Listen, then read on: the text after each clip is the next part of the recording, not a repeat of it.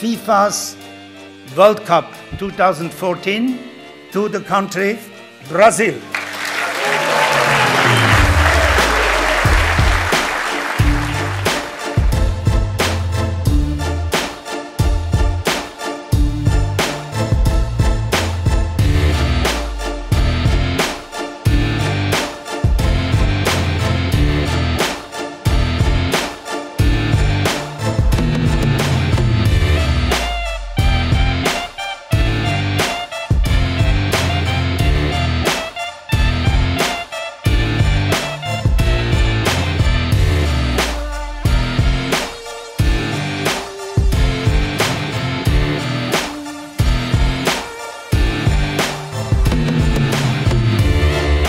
Nesta versão do governo escuta, nós temos um debate sobre os diálogos da Copa.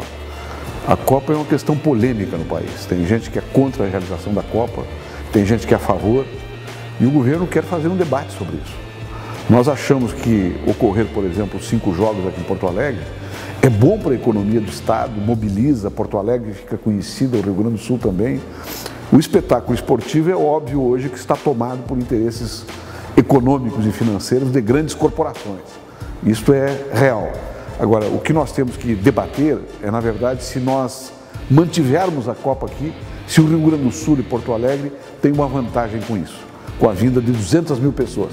Nós achamos que sim, que é bom que esses cinco jogos ocorram aqui em Porto Alegre, né? porque isso mobiliza o comércio, isso mobiliza hotéis, isso mobiliza serviços, táxis, né?